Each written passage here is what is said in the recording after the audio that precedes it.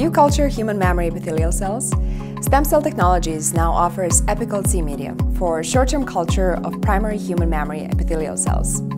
The EpiCult C formulation provides balanced growth of luminal and myoepithelial cells and is a highly effective medium for the enzymatic dissociation of human mammary tissue when supplemented with collagenase and hyaluronidase enzymes.